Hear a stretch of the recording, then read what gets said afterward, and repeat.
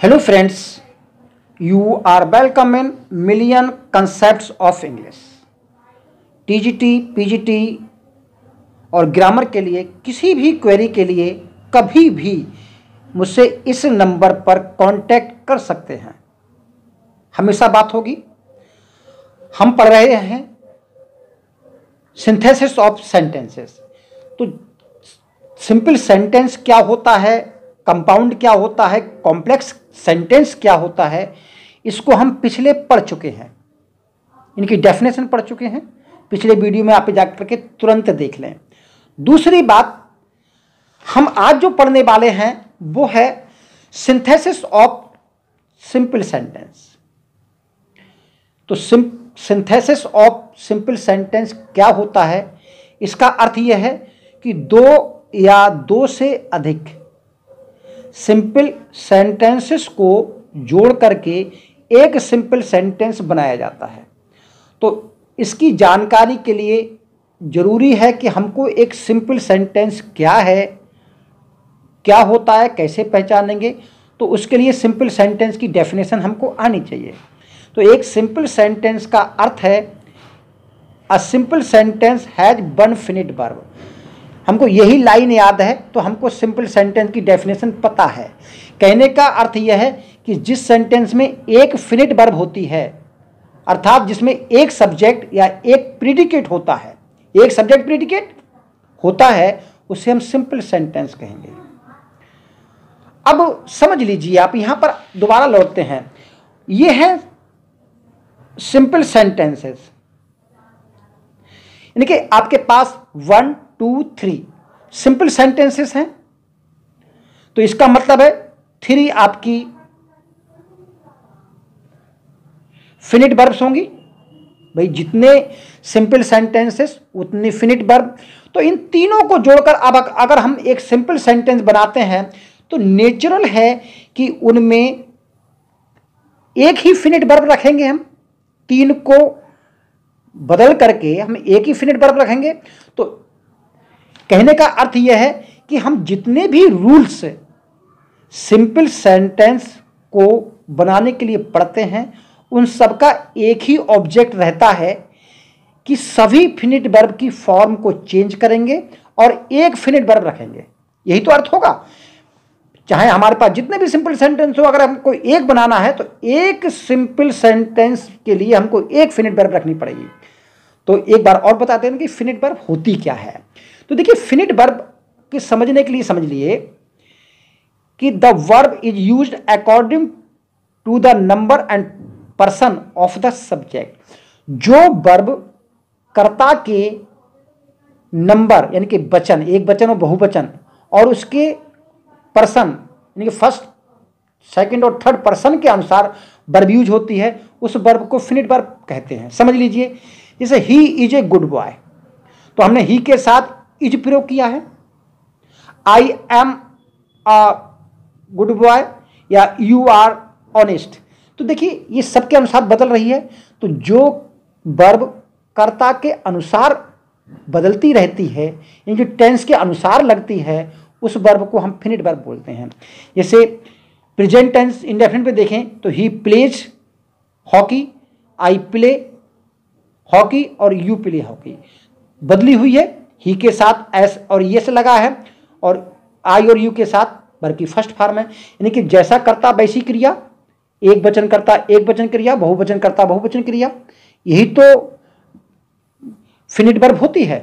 तो यही कहने का मतलब कर्ता के अनुसार जो क्रिया रखी होती है, उसे हम फिनिट वर्ब कहते हैं।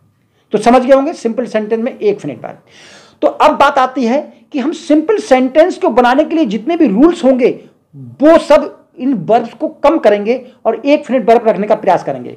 तो वो कौन कौन से तरीके हैं, वो समझिए आप। देखिए, एक सिंपल सेंटेंस को बनाने के लिए हम इन बाई यूजिंग पार्टिसिपल हम पार्टिसिपल का यूज़ करेंगे। By using nominative absolute nominative absolute का प्रयोग करेंगे। नाउन और जीरन विद प्रीपोजिशन का यूज़ करेंगे। इन्फिनेटिव का यूज़ करेंगे। एडबर्ब और एडबर्बियल फ्रेज का यूज़ करेंगे। और एडजेक्टिव का यूज़ करेंगे कंजक्शन एंड के साथ हम प्रयोग करेंगे और नाउन और फ्रेज इन अपोजिशन इसका हम प्रयोग करेंगे। तो ये जितने भी आठ प्रयोग हैं, इन सबका उद्देश्य जो है बर्ब को कम करना होता है, केवल एक ही फिनिट बर्फ़ रखना होता है। तो हमने जैसा कि वादा किया था कि हम पढ़ेंगे बाय यूजिंग पार्टिसिपल के द्वारा हम पढ़ेंगे। तो अब समझिए कि पार्टिसिपल आपका क्या होता है, फिर हम पढ़ेंगे। देखिए पार्टिसिपल जो होता है, वो तीन प्रकार के होते हैं। एक होता है प्रेजेंट पार्टिसिपल दूसरा पास्ट पार्टिसिपल होता है। थर्ड होता है आपका परफेक्ट पार्टिसिपल ये होता है आपका वर्ब की आईएनजी फॉर्म, और पास्ट पार्टिसिपल होता है वर्ब की जो आपकी थर्ड फॉर्म होती है। वैसे तो फोर्थ फॉर्म बोलते हैं ई एन फॉर्म होती है ये। और जो परफेक्ट पार्टिसिपल होता है, वो हैविंग के साथ वर्ब की थर्ड फॉर्म होती है। विशेष तौर पर जो सेंटेंस को जोड़ने का काम होता है, वो प्रेजेंट पार्टिसिपल और परफेक्ट पार्टिसिपल के द्वारा करते हैं। और हालाँकि पार्टिसिपल तो आप जानते ही हैं अच्छी तरह कि ये वर्ब से तो बनता है, लेकिन एडजेक्टिव की तरह काम करता है। यहाँ पर बहुत विस्तार से नहीं जाएँगे, क्योंकि पार्टिसिपल को हम पढ़ चुके हैं। तो ये बर्ब से बनता है और एडजेक्टिव का काम करता है। दैट्स वाई इसको हम वर्बल एडजेक्टिव कहते हैं। तो आप यहाँ पर समझ लीजिए कि इन प्रेजेंट पार्टिसिपल और परफेक्ट पार्टिसिपल के द्वारा सेंटेंस को जोड़ेंगे। तो शर्त यही है कि हमने अभी आठ रूल्स पढ़े थे, कि जानकारी ली थी। तो उनके द्वारा हम सिंपल सेंटेंस को जोड़ करके एक सिंपल सेंटेंस बनाते हैं। अब बात आती है कि पार्टिसिपल के द्वारा हम सिंपल सेंटेंस को कब बनाएँ? तो यानी कि किन शर्तों पर पर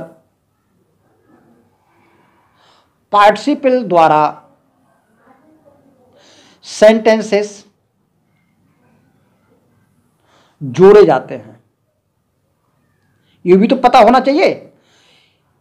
हमें क्या पत, कैसे पता लगेगा कि हम पार्टिसिपल के द्वारा ही जोड़ें?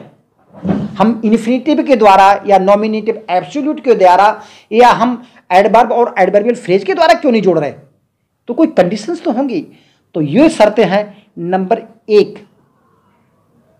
जिन सेंटेंसेस को जोड़ रहे हैं उन दोनों या तीनों मान लो दोनों सेंटेंसेस में एक ही सब्जेक्ट हो। यानी कि दोनों सेंटेंस में सब्जेक्ट एक ही होना चाहिए। ऐसा नहीं, पहले सेंटेंस में कोई अलग है और दूसरे में कोई अलग है। जैसे कि he saw a lion he ran away एक शर्त तो ये हो गई, देखिए दोनों सेंटेंसेस में एक ही करता है तो केवल एक ही शर्त काम नहीं करेगी, एक और शर्त है। दूसरी है कि पहली क्रिया, पहली जो वर्ब है, दूसरी वर्ब के होने का कारण बने। जैसे उसने शेर को देखा, वह भाग गया। तो उसका शेर का देखना और उसके फलस्वरूप भाग जाना हुआ है। काश वो शेर को ना देख पाता, नहीं देखता तो अपने रास्ते पे चला जाता, नहीं भागता। तो शेर को देखना एक कारण बना दूसरी क्रिया के होने का। तो ये दो शर्तें हैं, तब हम पार्टिसिपल का यूज़ करेंगे। वरना नहीं करेंगे। वरना और हमारे बहुत सारे रूल्स हैं तो ये धीरे धीरे सीखते जाएँगे गारंटी से आपको समझ में आ जाएगा। तो इतनी बात समझ में आ गई होगी। अब बात आती है कि हमने कहा कि प्रेजेंट पार्टिसिपल और परफेक्ट पार्टिसिपल के द्वारा हमारे सेंटेंस बनते हैं। तो कब, क्या होता है, कब हम प्रेजेंट पार्टिसिपल का प्रयोग करेंगे? देखिए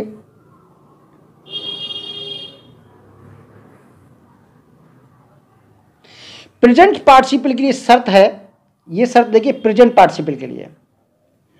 भाई, दोनों पार्टिसिपल के लिए तो यही शर्तें हैं, लेकिन इसके लिए शर्त क्या है? इसमें क्या है? पहली क्रिया के।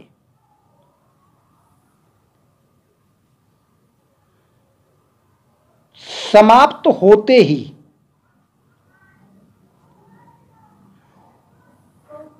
तुरंत बाद दूसरी क्रिया शुरू हो जाए।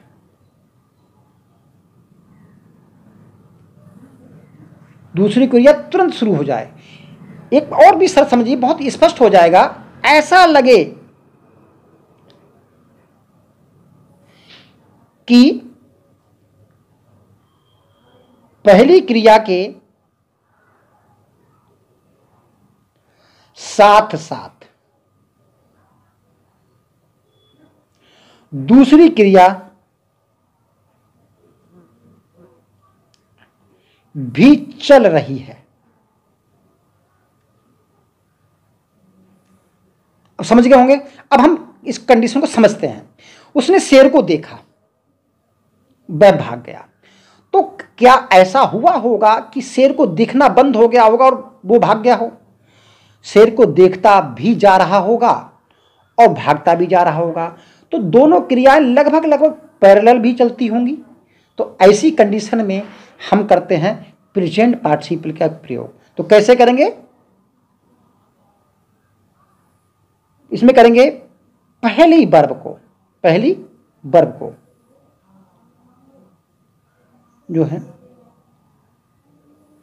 प्रेजेंट पार्टिसिपल बना देते हैं।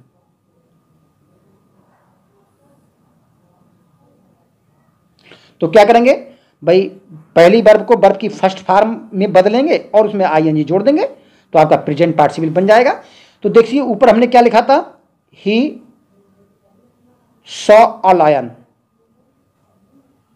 he ran away यही तो पढ़ा था। तो हम क्या करेंगे? इस वर्ब को हम प्रेजेंट पार्टिसिपल बना देंगे। नहीं जो क्रिया कारण का काम कर रही है उसको seeing a lion he ran away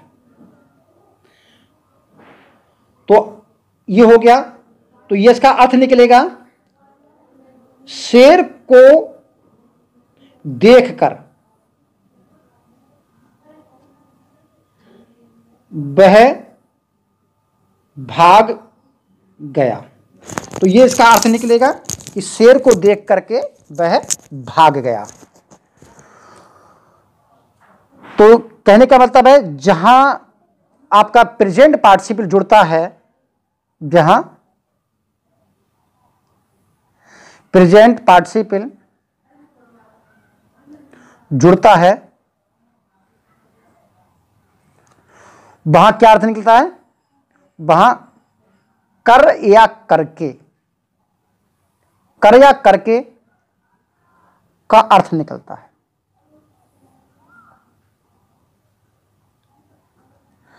दूसरे। अगर और भी समझ लेते हैं, अब बात कंपटीशन की करते हैं। जब एग्ज़ाम में आता है तो देखिए, जितनी भी बर्फ़ हैं, किसी भी सेंटेंस में, यही नहीं, किसी भी सेंटेंस में जितनी भी बर्फ़ हैं, उसके लिए सब्जेक्ट रेफरेंस ज़रूर होता है। तो देखिए, इसमें सब्जेक्ट ही है रैन भी ही से जुड़ी है, और सींग भी ही से जुड़ी है। दोनों ही बर्ब के लिए सब्जेक्ट डिफरेंस ही है। तो ये सेंटेंस सही है। जब भी आप देखें, जब प्रेजेंट पार्टिसिपल का प्रयोग होता है या परफेक्ट पार्टिसिपल का प्रयोग होता है तो आप देख लेंगे कि हमारा सब्जेक्ट रेफरेंस सही है या नहीं है। तो अंडरलाइन करना सब्जेक्ट को इस तरह, और दोनों वर्ब को देखना कि दोनों वर्ब किसके लिए यूज़ हुई हैं। एक एग्ज़ाम्पल और देखते हैं, तब आपको और अच्छी तरह समझ में आ जाएगा। सेंटेंस है द पीपल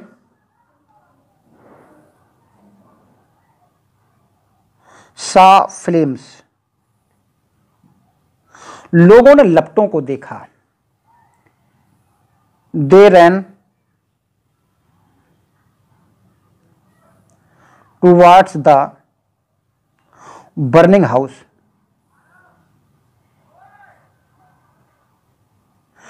तो यहाँ पर देख रहे हैं, लोगों ने लपटों को देखा और लोग जो है जलते हुए घर की ओर भागे। तो एक क्रिया के बाद तुरंत दूसरी क्रिया हुई। ऐसा भी हो, लग रहा होगा आपको कि वो लपटों को देखते भी जा रहे हों और जलते हुए घर की तरफ़ भाग भी रहे हों। तो यही कंडीशन है और दोनों में एक ही करता है, दोनों में प्यूपिल है। तो हम क्या करेंगे? इस वर्ब को हम प्रेजेंट पार्टिसिपल बना देते हैं।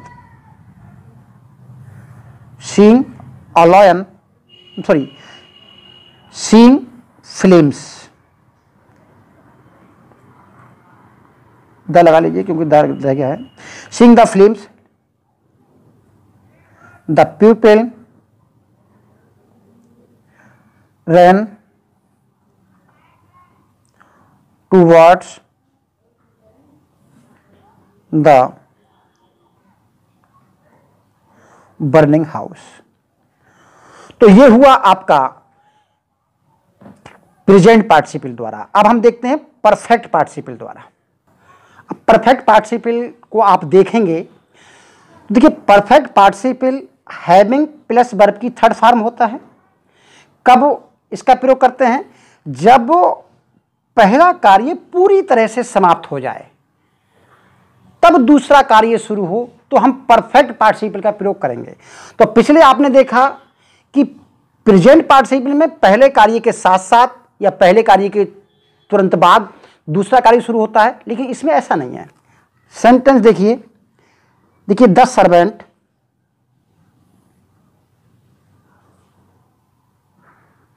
swept the room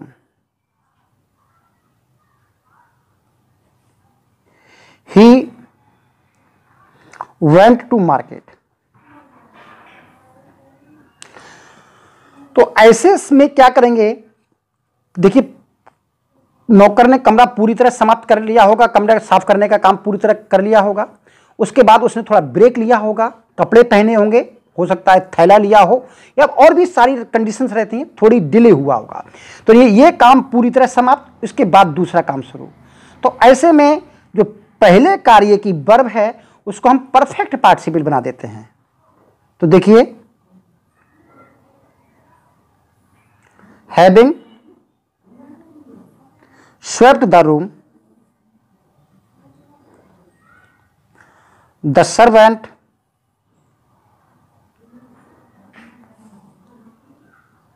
went to the market उम्मीद कर रहे हैं समझ में आ रहा होगा। अगले देखते हैं, और भी एग्ज़ाम्पल देखते हैं। तो यहाँ तक रहा आपका पार्टिसिपल के द्वारा जोड़ना। सेंटेंस में एग्ज़ाम्पल और देख लेते हैं। जैसे I took my food I went to college तो क्या लग रहा है कि खाना खाते खाते गया होगा? खाने के बाद ही गया होगा। तो ऐसे में क्या करेंगे? हैविंग के साथ third form having taken my food I went to college समझ गए होंगे अब एक आध एग्ज़ाम्पल और देखते हैं देखिए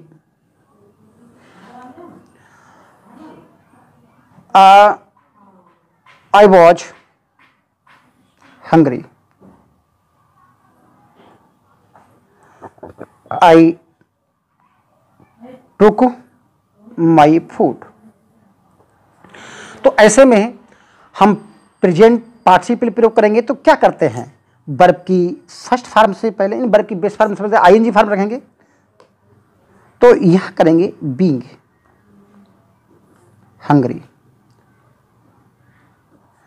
I took my food अब आप कहेंगे, यहाँ बीन क्यों लिखा? तो आपको बता दें, अच्छी तरह पता होना चाहिए बी होता है होना। ये बेस फॉर्म है, जिसका अर्थ होता है बेस फॉर्म है, इसका अर्थ होता है होना।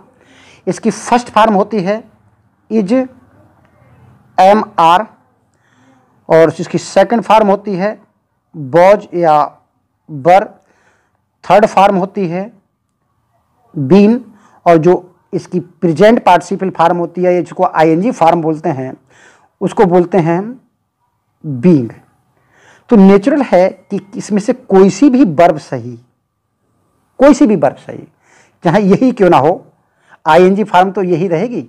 तो इसलिए आपने किसी और से सुना होगा कि is am are was verb को हम बींग में बदल देते हैं। अरे भाई is am are was verb को ही नहीं, हम इनकी प्रेजेंट पार्टिसिपल फॉर्म रखते हैं जो कि बींग होती है।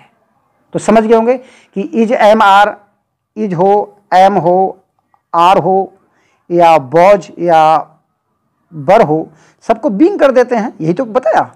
तो इनका मतलब ये इसकी फॉर्म ही आईएनजी यही होती है। और सेंटेंस देखते हैं। एक, बस लास्ट देख लेते हैं। The boys heard the bell. They left the class. लड़कों ने घंटी की आवाज़ को सुना, घंटी को सुना, उन्होंने क्लास छोड़ दिया। तो अब कंडीशन लगाइए परफेक्ट पार्टिसिपल लगेगा या प्रेजेंट पार्टिसिपल तो देखिए, शर्त देखिए। लड़कों ने घंटी सुना, घंटी की आवाज़ बंद हो गई। अब उन्होंने सोचा कि हमको क्लास से निकलना चाहिए। तो क्या ऐसी शर्त रही होगी? नहीं रही होगी ना? क्या रहा होगा? लड़कों ने घंटी की आवाज़ सुना, जैसे ही निकल के बाहर आ गए। घंटी भी बजती रही, लड़के क्लास से बाहर भी चलते रहे। तो दोनों कार्य पैरेलल हो रहे हैं। तो ऐसे में हम इस वर्ब को present participle. Hear first form होती है। Hearing the bell the boys अब आप कहोगे, दे क्यों नहीं रखा? अभी दे और द बॉयस एक ही हैं। तो नेचुरल कि वहाँ नाउन रखा जाता है प्रोनाउन नहीं। तो hearing the bell the boys left the class so friends हमारी राइटिंग बहुत ज़्यादा अच्छी नहीं है तो उसके लिए सॉरी लेकिन समझ में आ रहा हो तो आप अपने मित्रों को फॉरवर्ड करें। तो ये थे पार्टिसिपल द्वारा सेंटेंसेस को जोड़ना। उम्मीद कर रहे हैं आपको समझ में आ रहा होगा। Thank you all the best